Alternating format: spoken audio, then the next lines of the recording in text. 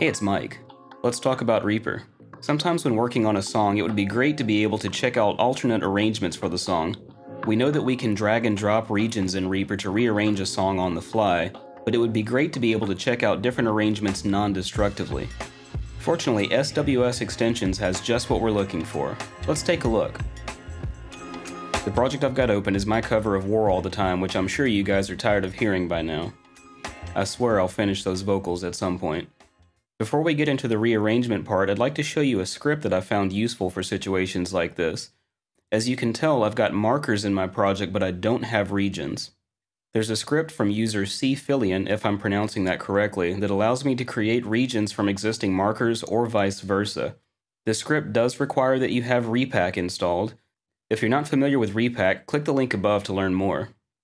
There's not a special repository that's needed for this. This is included with the default repositories for ReaPack. So we'll go to Extensions, ReaPack, Browse Packages, and search for Insert Region. If you'll note the author column, we'll see one here with user cfillion, and the script is insert regions at markers and vice versa in time selection.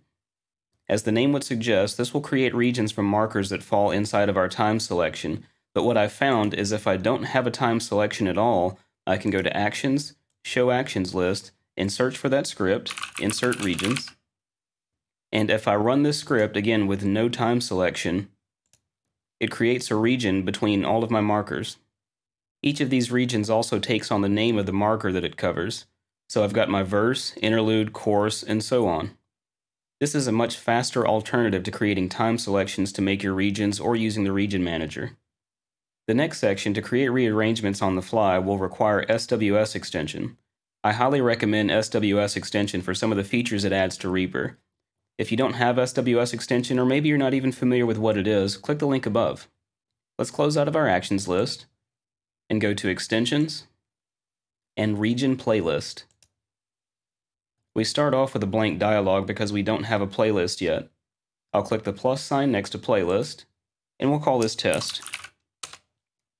At this point, we're in edit mode for our region playlist. You'll see we have columns for the region number, the name, the loop count, start and end time, and length. But currently we've got no regions in the playlist. Right-clicking a blank space in the region playlist will give us a few options. Under the playlist menu, we can create new playlists or copy, delete, or rename existing playlists. We can add all regions. We can add specific regions. There's settings for editing the project, additional options for the region playlist utility. There's an OSC feedback option, which is currently showing no options for me since I have no OSC devices. And finally, an option to dock the region playlist in your Docker if you desire. So to check out a new arrangement of the song, I can go to Add Region and click on the desired region that I'd like. Let's start with our intro. And next, I'd like to go straight to the final pre-chorus and chorus. I can right-click again, go to Add Region, and I'll choose region number 11, which is the final pre-chorus. And once again, I'll right click, go to add region, and choose my final chorus, which is region 12. If I'd like to loop any of these regions, I can double click in the loop count column and change the number. Let's run through the intro twice before hitting the pre-chorus. I'll change that to 2. And now with my new playlist configured, I can click play in the region playlist dialog to listen to this arrangement.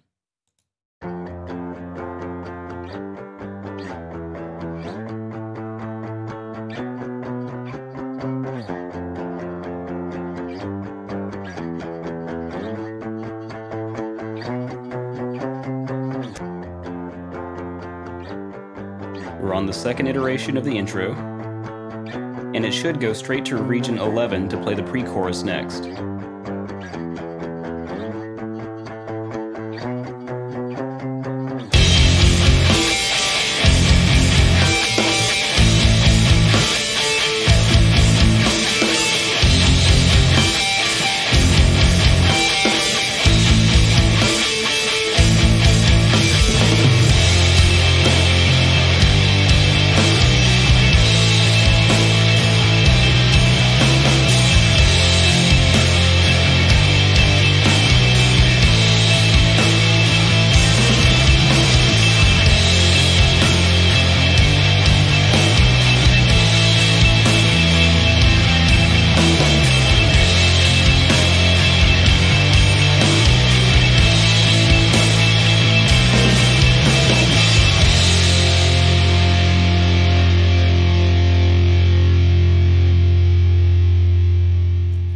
Playlist is working exactly as I've laid out. Now if I'd like to hear the song in its original configuration, I simply go back to my main window and play the song as normal.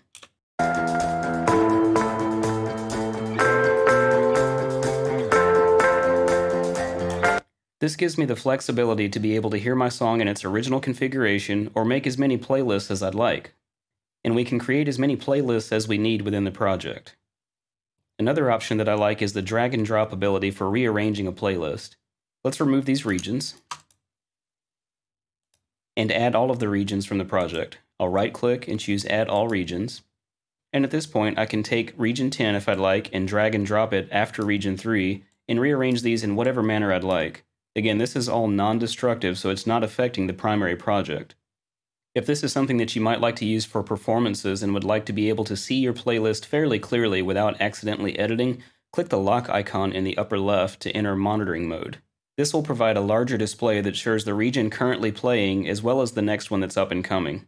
I'll make a quick rearrangement and give that a try. Let's move our interlude to the front, followed by the final pre-chorus, and followed by the intro. I'll click my lock icon in the top left and play.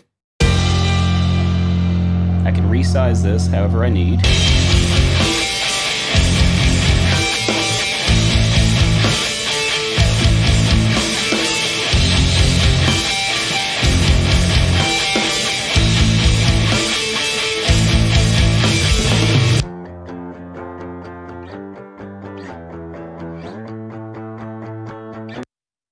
So as you can see, Region Playlist and SWS extension gives you some powerful options to allow you to preview additional arrangements in your songs.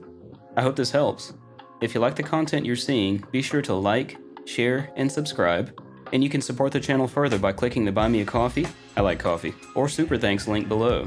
Don't forget to check out my drum editing and Reaper course on ProMix Academy.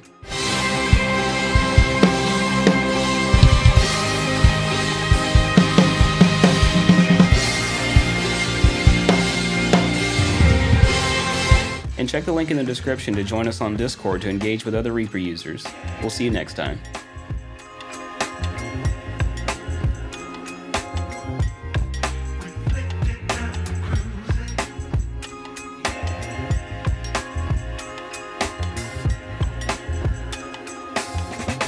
I gotta start drinking this before it gets cold.